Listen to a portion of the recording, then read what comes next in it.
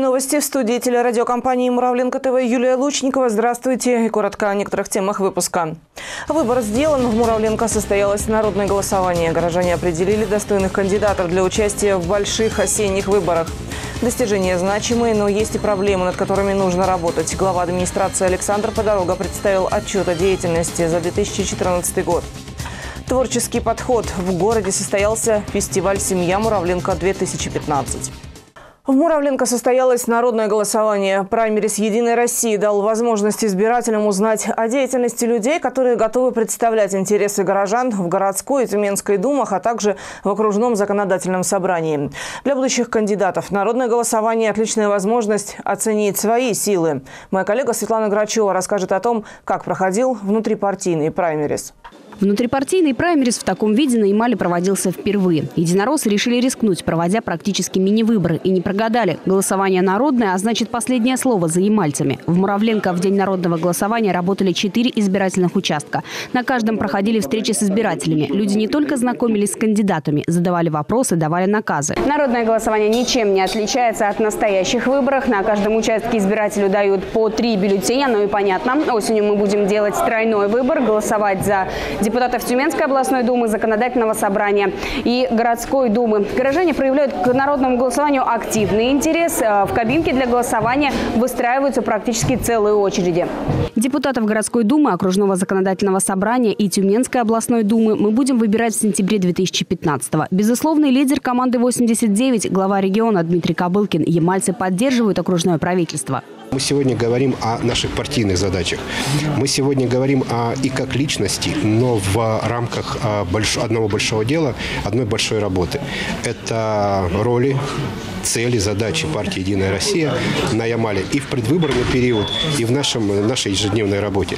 В числе кандидатов на вакантное место депутата в Тюменской думе Николай Яшкин, заместитель председателя окружного законодательного собрания. Для того, чтобы реализовывалась программа сотрудничества, угу. да, это бюджетная программа, должны приниматься законы. А для того, чтобы их принимать оперативно, четко, нужны люди, понимающие и знающие ситуацию. В региональном списке кандидатов на выборы в законодательное собрание Тамара Полякова из Губкинского, Игорь Гирилишин из Надыма. От Муравленко на место депутата в окружном парламенте на народном голосовании претендуют Ирина Легостаева, Максим Заблоцких и Валерий Минибаев. Я уверен даже в том, что по результатам народного голосования э, команда 89 сформированная будет иметь поистине народный мандат. В сентябре 2015-го муравленковцы обновят состав городской думы. На народном голосовании 47 претендентов. Цифра большая, но народ делает выбор в пользу достойных. Познакомились с кандидатами, просмотрела не всех, конечно, знаешь, но дополнительная информация, которая была дана, она дает исчерпывающий ответ на наш вопрос. Кого выбрать? Проголосовала за тех, кого считаю нужным. Потому что как бы это наше будущее, э, поэтому хотим, чтобы выбрали тех людей, которых мы хотим. Народное голосование в Муравленко завершилось ровно в 18 часов. 3711 человек сделали свой выбор, сформировав список кандидатов на включение в состав команды 89. Светлана Грачева, Андрей Нагибин, телерадиокомпания «Муравленко ТВ». Итак, выбор сделан. Народное голосование в Муравленко признано состоявшимся. Сегодня в местной администрации прошло заседание Организационного комитета. Его участники рассмотрели протоколы счетной комиссии и утвердили итоги праймерис по кандидатам, готовящимся на выборы в местную думу. В городской команде 89 – 20 человек. Это работники нефтяных и нефтесервисных предприятий, государственных и муниципальных учреждений, представители коммунальной сферы, адвокат и предприниматель.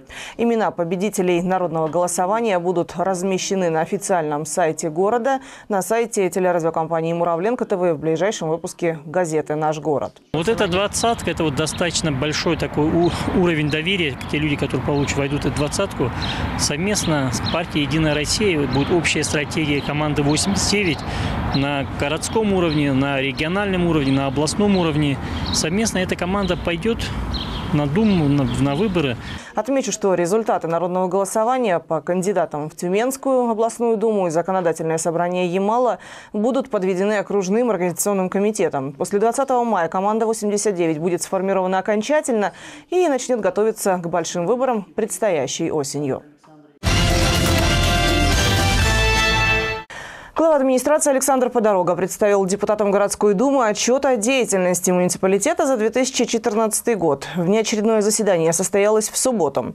Помимо отчета, народные избранники рассмотрели вопрос внесения изменений в устав города. Все подробности у Эрнеста Бавшина.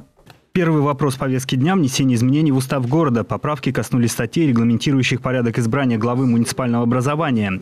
Если ранее председатель Думы одновременно являлся и главой города, то теперь, согласно изменениям, глава избирается депутатами из числа кандидатур, представленных конкурсной комиссией. И одновременно он же возглавляет и городскую администрацию. Мы фактически переходим к той системе, которая существовала в городе Муравленко до 2010 года. Единственное отличие, что главу муниципального образования будут избирать депутаты городской думы. Думы. А председатель городской а председатель городской, председатель городской думы будет спикером городской думы, который будет вести городскую думу, готовить документы, готовить материалы, но он, он будет фактически спикером городской думы. В то же время глава города будет подотчетен депутатам городской думы. Поправки в устав были приняты единогласно. Следующий вопрос повестки дня – отчет главы администрации о работе за 2014 год. Александр Подорога остановился на каждом из направлений социально-экономической жизни города. В прошлом году бюджет города исполнен на 3 миллиарда 968 миллионов рублей. Это 99% от запланированных показателей. По сравнению с 2013 годом доходы городской казны увеличились на 182 миллиона рублей. За счет городского бюджета в 2014 году решались важные задачи социально-экономического развития города. При поддержке правительства Ямало-Ненецкого автономного округа осуществлены мероприятия по исполнению майских указов президента Российской Федерации. За 2014 год по всем категориям работников бюджетной сферы, в отношении которых предусмотрены мероприятия по повышению заработной платы, достигнуты. Отметил Александр Подорога успехи, связанные с реализацией программы по предоставлению земельных участков многодетным семьям. 125 семей в 2014 году получили свои земельные наделы, но в очереди стоит еще более 200 семей. Это говорит, уважаемые коллеги, о том, что мы с вами должны продолжать работу по реализации указа президента по предоставлению земельных участков. Это очень высокозатратное мероприятие. А, понимаю, что предоставлять земельные участки с полным набором инженерии, а, то, как мы предоставили это сейчас, мы а, вряд ли сможем. Но, тем не менее, ту работу, которую мы в свое время вели по этому земельному участку, необходимо проводить на других э, земельных участках. Далее Александр Подорога кратко остановился на итогах работы жилищно-коммунального комплекса. Проблема переселения из ветхого аварийного жилья самая злободневная в городе. В прошедшем году улучшили свои жилищные условия 17 молодых семей в рамках программы э, молодых э, предоставления субсидий молодым э, семьям. Введено в эксплуатацию 4 многоквартирных дома на 200 квартир общей площадью 8,8 тысяч квадратных метров. Расходы городского бюджета на образование составляют более 40%, и это одна из приоритетных сфер деятельности в городе. В 2014 году в эксплуатацию был введен детский сад Непоседы, и это позволило избавиться от очереди детей в возрасте от 3 до 7 лет. 2014 год еще э, прошел под знаком начала строительства э, нового объекта школы «Детский сад». Сейчас уже он подведен практически под, э, под крышу, работы продолжаются. Я думаю, что в части исполнения задач по обеспечению детскими садами, школьным образованием наших детей, эти задачи будут выполнены. И при этом, конечно же, на повестке дня остается вопрос, который мы будем дальше прорабатывать и прорабатывать а, еще более серьезнее. Это вопрос строительства образовательного центра в микрорайоне Молодежный. Особо в докладе Александр Подорога остановился на взаимодействии с общественными организациями города. Работа общественно-консультативного совета, работа общественных объединений, организаций позволила нам создать в этом году общественную палату нашего города. Я думаю, что вот такое активное общественное движение а, позволит нам при принятии решений учитывать, возможно, а, большое количество мнений, предложений от а, жителей города. Говорил Александр Подорога о таких сферах городской жизни, как социальная защита населения, культура, молодежная политика, физкультура и спорт, развитие малого и среднего предпринимательства. По итогам работы за 2014 год есть достижения, но в то же время есть и проблемы, которые нужно будет решать в текущем году. Эрнест Бавшин, Анатолий Шуликов, телерадиокомпания «Муравленко ТВ». Возможность получить помощь по телефону 17 мая во всем мире отметили День детского телефона доверия. В этот день во всех городах и поселках округа прошли информационные кампании о деятельности детского телефона доверия. В Муравленко волонтеры раздавали горожанам специальные памятки, пропагандирующие деятельность этого телефона. Многолетняя практика показывает, детский телефон доверия является не только эффективным инструментом раннего выявления случаев детского неблагополучия, но и доступным, бесплатным и оперативным ресурсом оказания экстренной психологической помощи. Конфиденциальность и бесплатность – два основных принципа работы детского телефона телефона доверия. При обращении абоненты имеют право сохранить в тайне свое имя, местонахождение и любую другую информацию и могут быть уверены, содержание беседы не записывается и не будет разглашено. С 2010 года на детский телефон доверия на Ямале поступило более 32 тысяч звонков. Основная тематика обращений – это вопросы детско-родительских отношений и взаимоотношений со сверстниками. Муравленко выбрали семью года. Городской фестиваль-конкурс состоялся в Международный день семьи. В этом году в смотре участвовали пять семей, и каждая постаралась отличиться в той или иной номинации. О том, как проходил конкурс, расскажет моя коллега Эльвира Валиахметова. На сцену выйдут пять семей. Участники немного волнуются. Как вы видите, готовятся, репетируют и, тем не менее, поддерживают друг друга.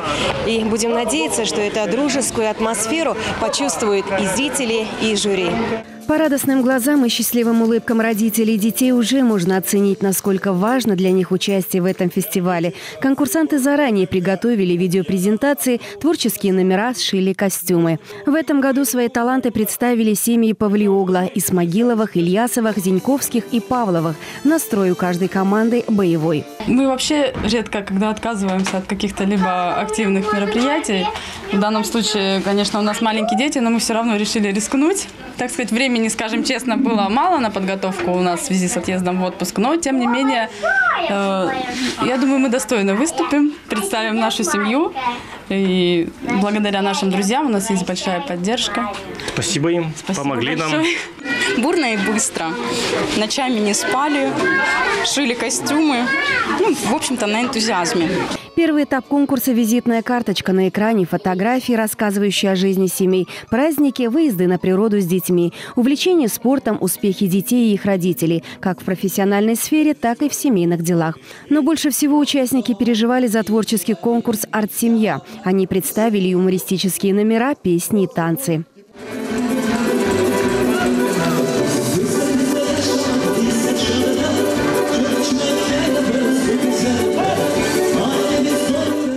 Каждая команда старалась выразить свою индивидуальность, яркость и артистизм. К примеру, семья Павловых в этом конкурсе не просто отличилась художественным мастерством и хорошим вокальным исполнением, но и устроила для зрителей шоу с участием пожарных.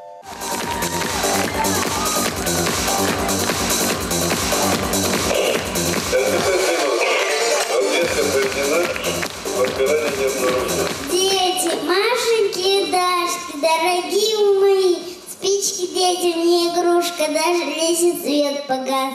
Мы с папой волновались, конечно, больше, чем Ксюша. Ксюша нам помогала, где-то мы там зап- запинались, забывали слова, может быть, а дочка нас выручала. Все стихи, конечно, дочь выучила Раньше быстрее нас. нас. В видеоконкурсе полезных советов «Я папа» главы семей показывали зрителям и жюри, каким должен быть настоящий отец и мужчина. Кульминационным моментом стал кулинарный конкурс «Вкуснотеево», на котором участники представляли национальные и просто любимые блюда семьи. Этим блюдом угощаем всех за праздничным столом. Можно даже выпить чаю, самовара, да с метком. Определить, в какой номинации какая семья стала победителем, членам жюри оказалось несложно. Павлиогла одержали верх в туристическом братстве. Зиньковские окружили всех планетой любви. Павловы сумели отразить жизнь замечательных людей. Ильясовы победили в номинации «Семейное наследие», а Исмагиловы лучше всего в букете талантов. Все участники были награждены дипломами, денежными призами и подарками от партии «Единая Россия». А многодетная семья Ильясовых удостоилась специального приза от общественной организации «Женщины Муравленко». Эльвира Валяхметова, Андрей Нагибин, телерадиокомпания «Муравленко ТВ». Это все новости на сегодня. Информационные выпуски по-прежнему доступны и в интернете на официальном сайте нашей компании муравленко.тв. А я на этом благодарю вас за внимание. В студии работала Юлия Лучникова. Далее прогноз погоды. Оставайтесь с нами, не переключайтесь.